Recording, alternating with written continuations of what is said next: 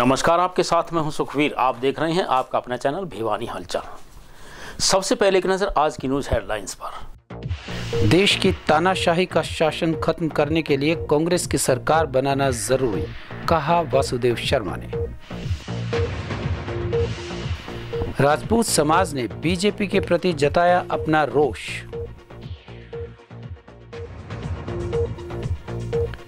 पहली बार बुज़ुर्ग और दिव्यांग कर रहे घर बैठे मतदान। और अब खबरें विस्तार से।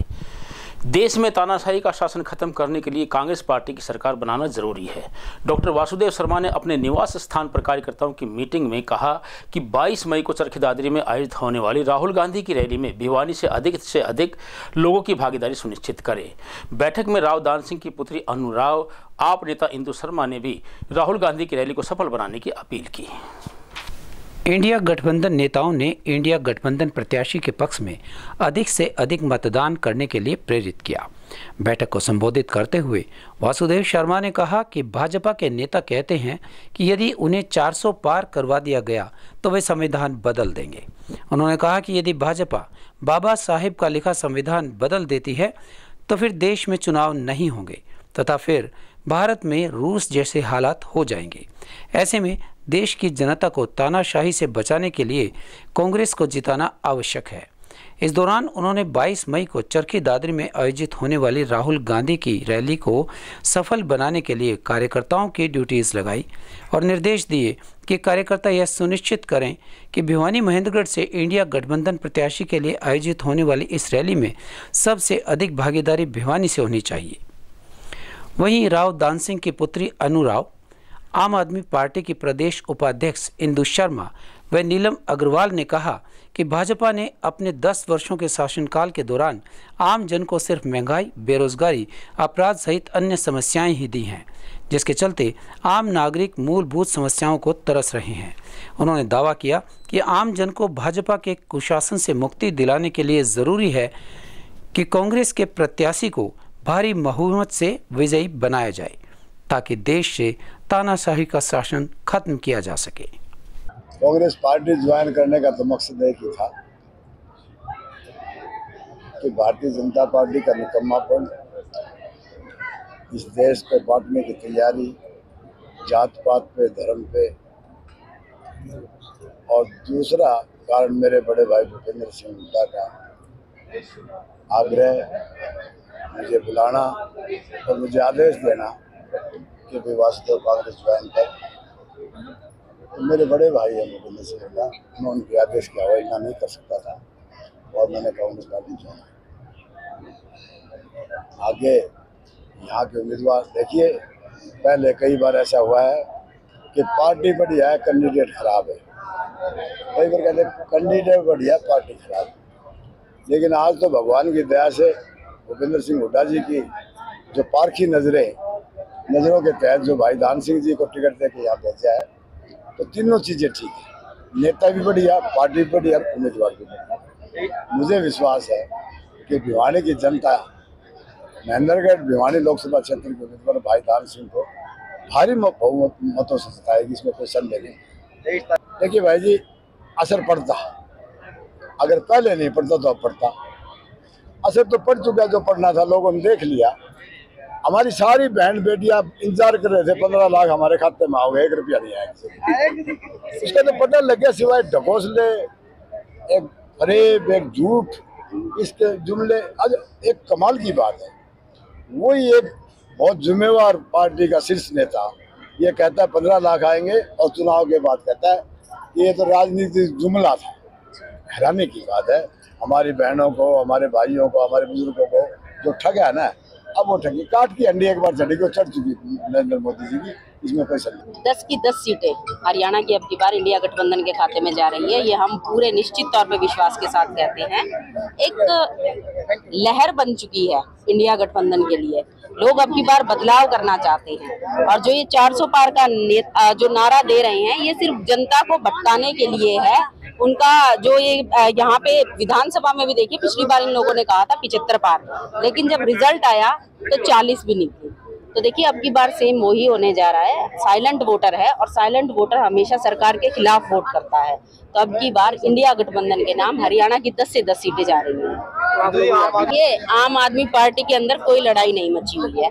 ये जो भी कुछ हो रहा है, ये बीजेपी सरकार की सोची समझी साजिश है। ये आप देखिए, एक तरफा जो ये वीडियोस वायरल होती हैं, उन्हें एक तरफा लेके मत चलिए। जो दोबारा, जो पार्टी की तरफ़ से भी जो दिखाया जा रहा है, उन पे भी ध्यान दीजिए। कि आप, मुझे पता है, स्वाति मालीवाल जी के लिए बोल रहे हैं, लेकिन जो वीडियो पार्टी की तरफ़ से जारी हुई है, एक बार उन पर ध्यान दीजिए कि किस तरह सोची समझी साजिश थी, अरविंद केजरीवाल जी को फंसाने के लिए, वो उनकी साजिश जो है वो नाकाम हो गई। देखिए, बीजेपी सरकार आज कुछ भी कर सकती है। बता दीजिए कि किस तरीके से वो आपके लिए प्रभाव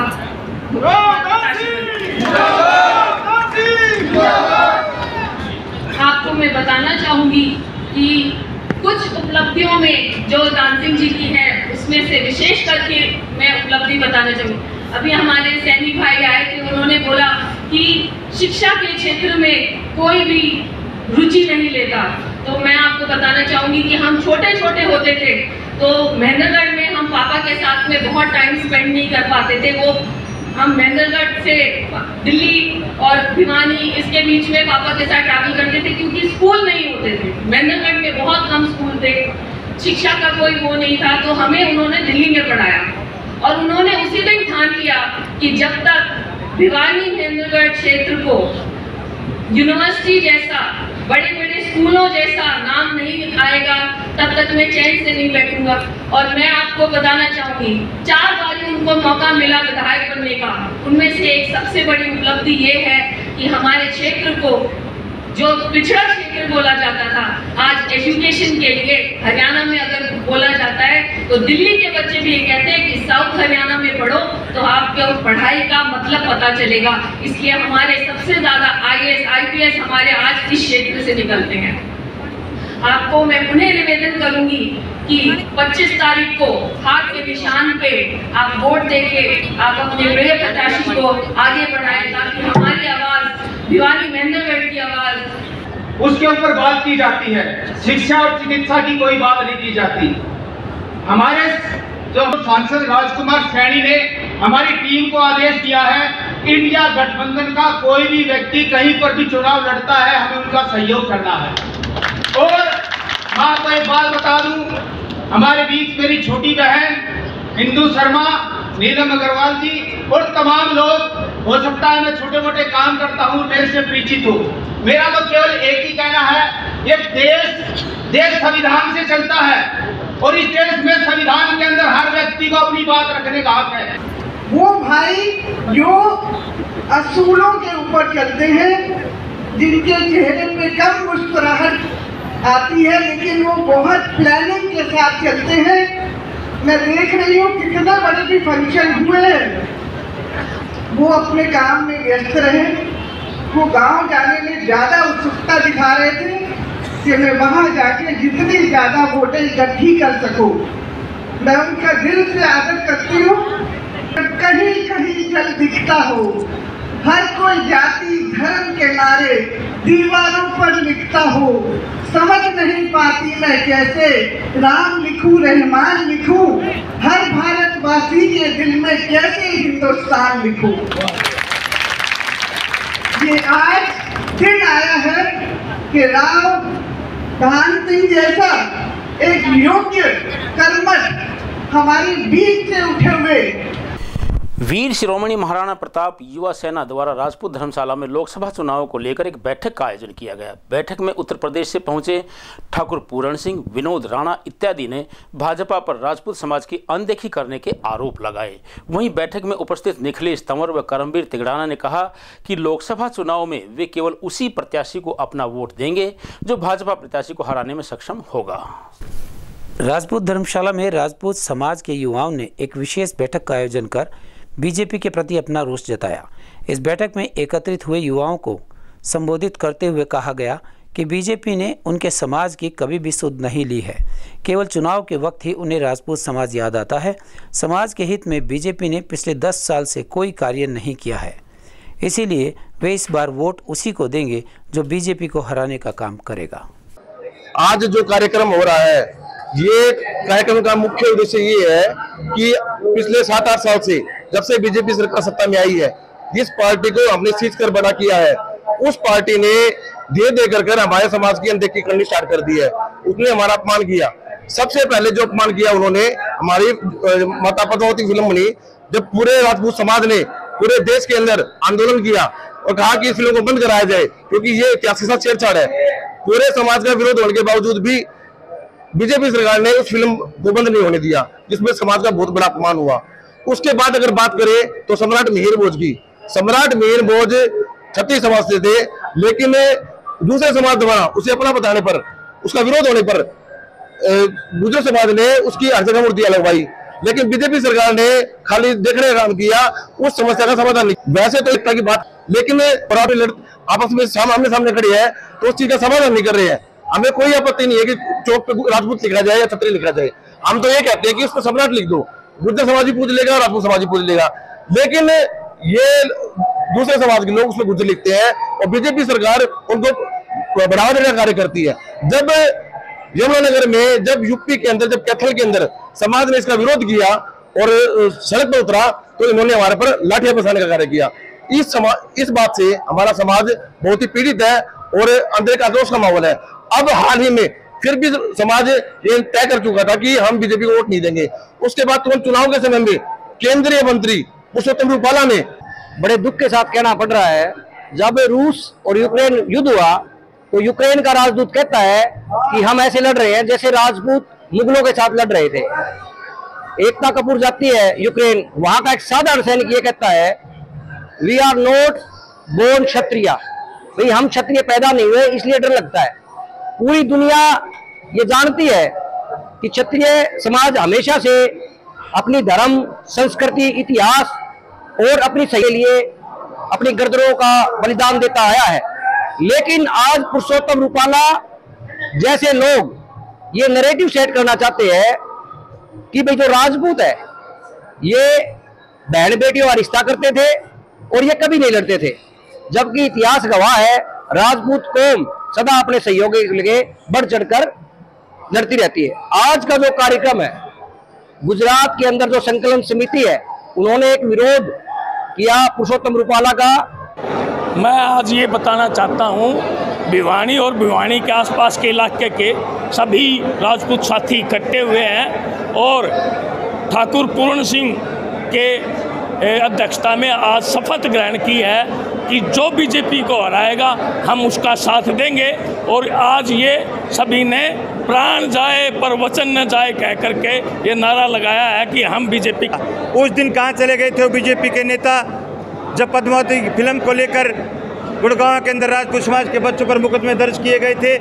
बीजेपी के नेताओं से राजपूत समाज के लोग मिले, अन्य समाजों के मुकदमे वापस ले लिए गए। राजपूत समाज की के मुकदमे उन बच्चों के आज तक वापस नहीं लिए गए। राजनाथ सिंह उस दिन कहाँ चले गए थे? जब कैथल पर राजपूत समाज पर लाठियाँ बरसाई जा रही थी।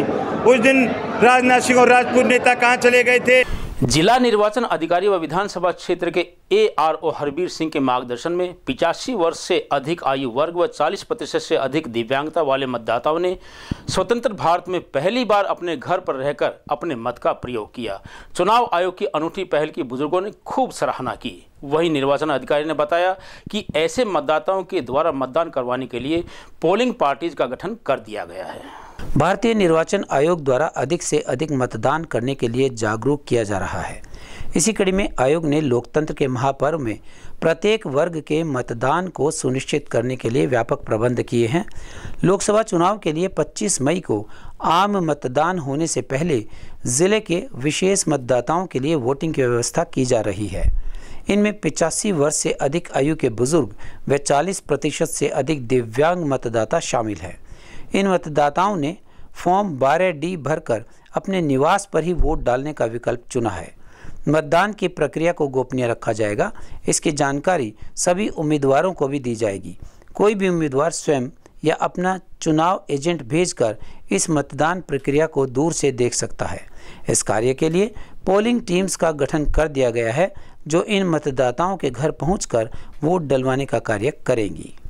चुनाव आयोग के द्वारा ये बहुत ही अच्छा कदम उठाया गया है। मेरी mother in law eighty nine years old हैं और क्योंकि वो बुज़ुर्ग बहुत ज़्यादा हैं तो वहाँ पर बूथ पर नहीं जा सकती। इसलिए चुनाव आयोग ने ये जो कार्य किया है ये बहुत ही प्रशंसनीय है। और वो घर आकर उनका वोट डलवा कर लेकर गए हैं तो मैं चुनाव आयोग का भी और जो भी कर्मचारी ऑन ड्यूटी थे उनका धन्यवाद करती हूँ कि उन्होंने मेरी मदर इन लॉ को अपने अधिकार का पूरा पूरा मतलब कर वो करने का इस्तेमाल करने का उनको मौका दिया। थैंक यू क्योंकि इस कार्य से क्या है कि जो बुज़ुर्ग लोग हैं वो भी मतदान करने का उनको पूरा पूरा मौका मिलेगा।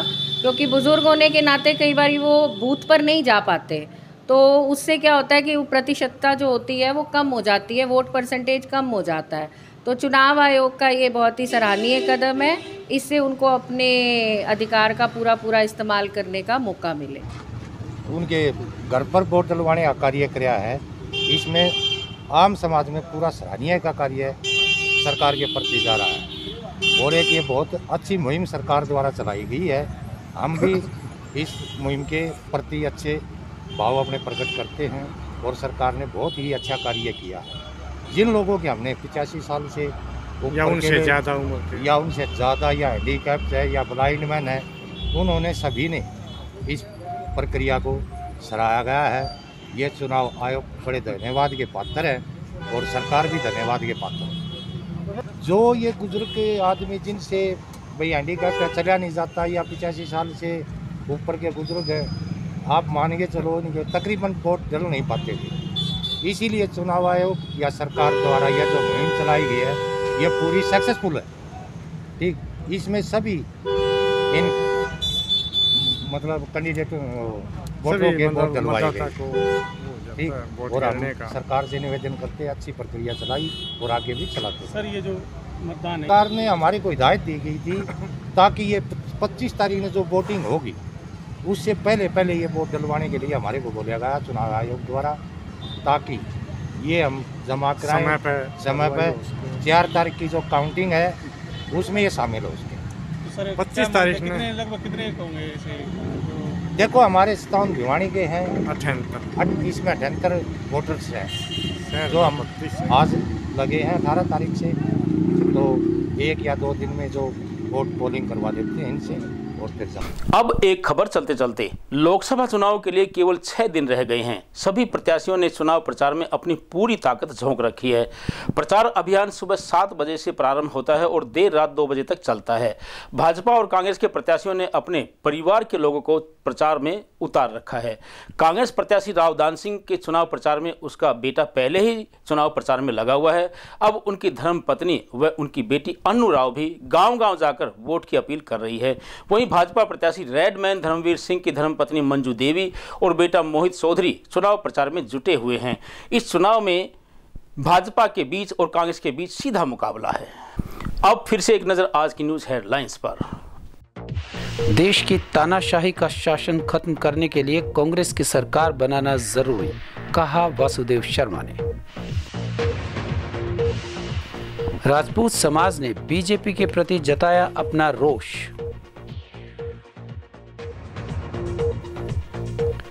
पहली बार बुज़ुर्ग और दिव्यांग कर रहे घर बैठे मतदान। अब मुझे दीजिए इजाज़त, देखते रहिए आपका अपना चैनल भिवानी हलचल।